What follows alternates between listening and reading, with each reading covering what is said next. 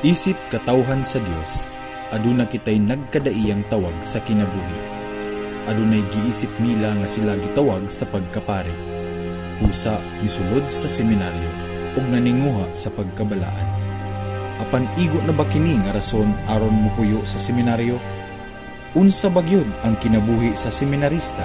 Kinabuhi ra ba kaha sa pagampo? Kinabuhi ra ba kaha sa pagtuon? O kinabuhi ra kaha sa pakighimamat sa uban? Dali, ug uban kanamo aron tukion ang kinabuhi sa seminarista.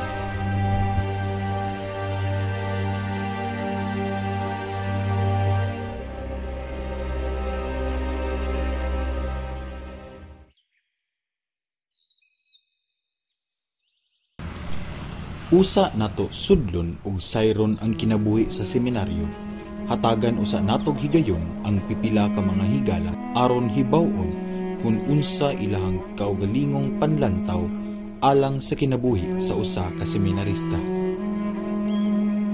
Para sa ako, ang kinabuhi sa usa ka seminarista mabase sa akong mga nadunggan kay lisod pero makapabulahan lisod siya kay kaning sa imong pagskwela layo ka sa imong pamilya sa imong amigo makabati gyud kag kamingaw pero makapabulahan siya sa thought nga makapag-grow sa imong kaugalingon no ug mas mahimong balaan nga tao ug mas makapaalagad pod sa atong Ginoo For me, pagka-seminarista is both a calling and an opportunity given by God para sa ilaha to be better as an individual or they want to uh, proceed in the priesthood.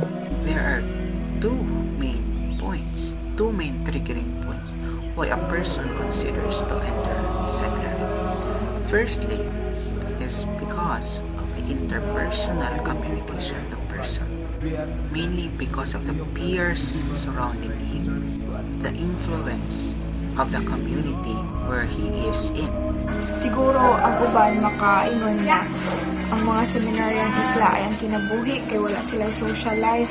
But the fact that there are seminarians and they call the, and they answer the call of Jesus, um, it is the exact reason, the coherent reason na pagmalipayon sila sa ilang kinabuhi.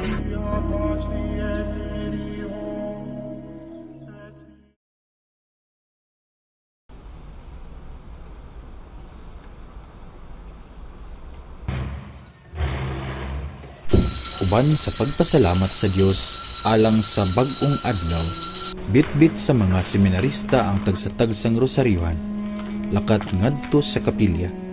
Niining dapit pagahimuon ang pagampo sa santos nga rosaryo, isip pagpahinungod sa mahal nga Biyerhe Maria. Dinhi sa St. Ricard Seminary, adunay gitawag nga upat ka mga pillars sa pag-umo kung four pillars of seminary formation ug ang iyang acronym mao ang acronym nga SHIP SHIP kasama sa usa ka barko nga diin naglawi aron nga makaabot sa padulungan nga mao kini ang pagkapari. Takip sa kinabuhi sa seminarista ang pagtambong sa santos nga misa, diin ginapahigayon sa matag adlaw. Sa ato pa, dili gyud mahimo nga walay misa sa usa ka adlaw sa seminaryo. Tungod kay hilabihan man kini ka importante para kanila nga nagpuyo diha sa formasyon sa pag-ampo. Ang S mo ang gitawag nga spiritual aspect diin ang mga seminarista kinahanglan nga maumol sa ilahang relasyon ngadto sa Ginoo. Ang pagkapari sa tong Ginoong sa Kristo ang ginasunod sa mga seminarista. Human mapakaon ang kalag, oras na usab aron busgon ang tiyan alang sa maayong panglawas. Ginaobserbahan gihapon sa matag usa ang mainampuong kahilo gikan sa pagmata hangtod niining pamahaw. Apan sa dihang malitok na ang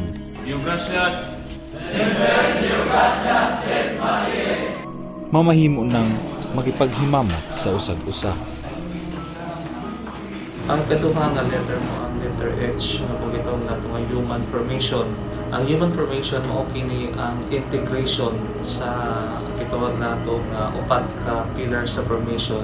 Sa human formation mao ang pagtan-aw o pag-umo sa mga seminarista sa ilahang kaugalingon sa ilang pagkatao ang ilahang mga kalig-on, pag-appreciate sa ilang mga strengths, and also ila po nga madawat ang ilaha po nga mga limitations or weaknesses kay being aware is one thing and the other thing is how he will respond to his human dynamics, his human issues.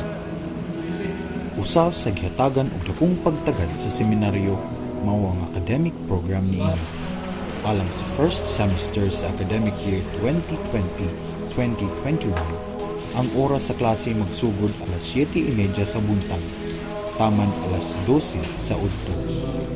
Ang kursong gitunan sa atong mga seminarista mao ang Bachelor of Arts in Philosophy, isip pagpangandam alang sa theology.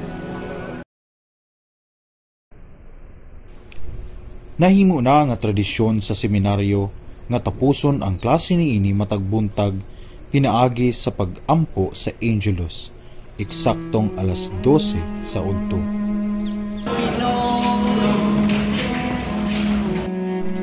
Human sa morning class, ang mga seminarista mudritso sa refectory alang sa pagpaniudto. Nabatasan na gayod nga magdungan ang tanang seminarista sa pagpangaon aron sa pagtukod og himsog nga komunidad og pakigbanding na usab sa iyang mga kaubanan. Aduna usab panahon nga gitagana aron makapahulay ang mga seminarista. Matag alas 12:45 sa udto, taman alauna 45 sa hapon. Kini aron maandam sila alang sa mga kalihukan niini matag hapon.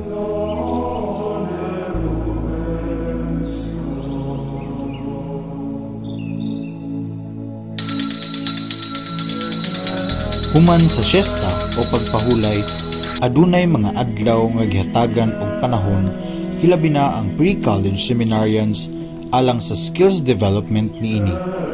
Kini usa ka pamaagi aron ang atong mga seminarians mapalambo og mamahimong maayo o makabalo og mga bag-ong kakayahan diha sa pagsayaw, pagkanta, pagtugtog og mga instrumento ug uban pa.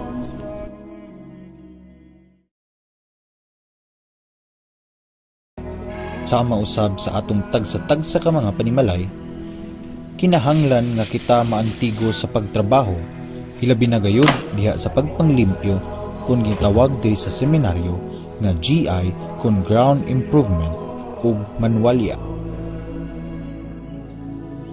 As a sabido sa seminaryan sa mga pre-college, ang GI o ang Manwalya dili lamang niingon nga nagpalig-on sa atong okasyon alang sa atong mga seminarista.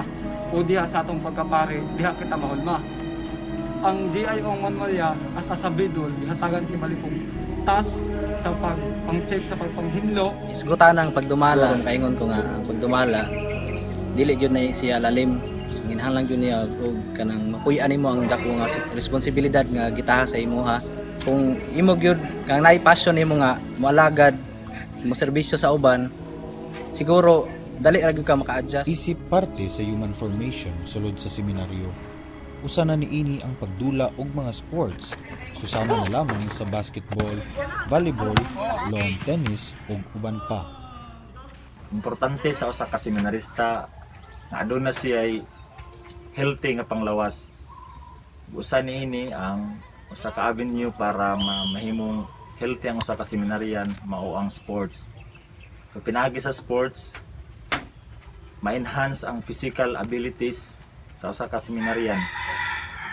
Dili lang kay gawas sa health aduna pud nila ining mga benepisyo sama sa brotherhood camaraderie ug ang strong nga banding kini mamahimong pundasyon sa usa ka maayong seminarista nga nag-aspire nga mamahimong pare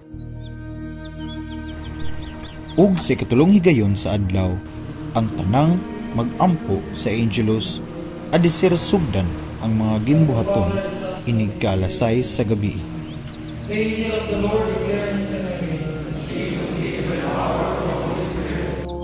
Sa maong gimbuhaton, mao ang pagnovena sa Mother of Perpetual Youth, isip pagdebosyon at pagpapalihim.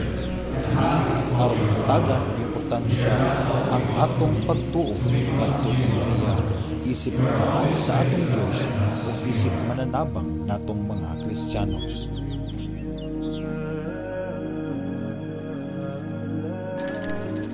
Human sa maong gimbuhaton, sundan na usab kini sa pagpanihapon ang paboritong buhaton sa mga seminarista. Ikatulogin ito Kaya sa intellectual formation, ang mga seminarista usab umol na sapagkat ko sa eskutanan na pagtuon sa filosofiya and hopefully sa ito nato na theology na formation. Ano kinahanglan mga magtuon? Kinahanglan magtuon ano ang mas mapanawaman ang pag-ila ang pag-ila sa Ginoo o ilabi na sa pagpamalandong sa gitawag nato ang signs of the times. Kinahanglan po ng sa ka seminarista, critical thinker,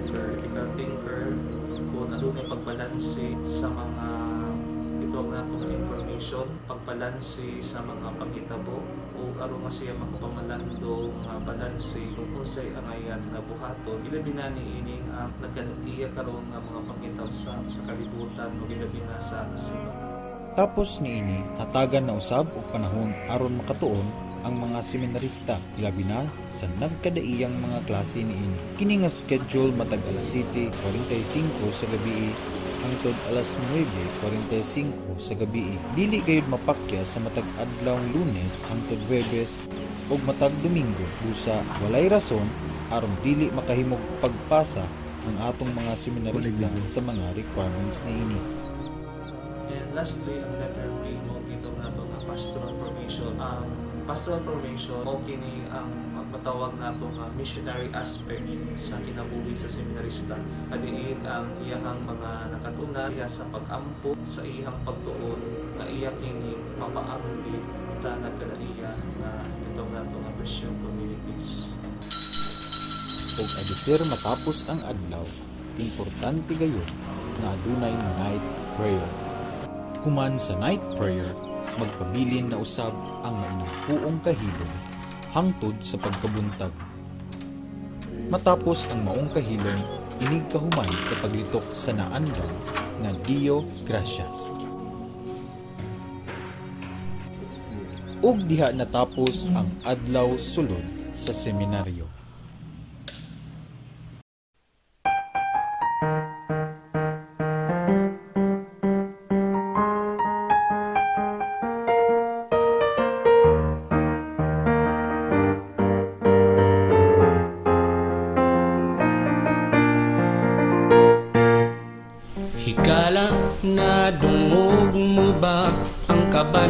sa kalibutan? Higala na bati mo ba ang kahawang sa imong dughan? Ala, masig ka na usa katimaan Nga ikaw gitawag sa labing gamanan Pusa tanan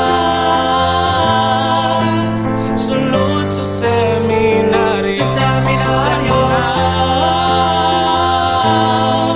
Ang pagupot sa tawag ni Kristo Kay basig maujud kini Ang tumong sa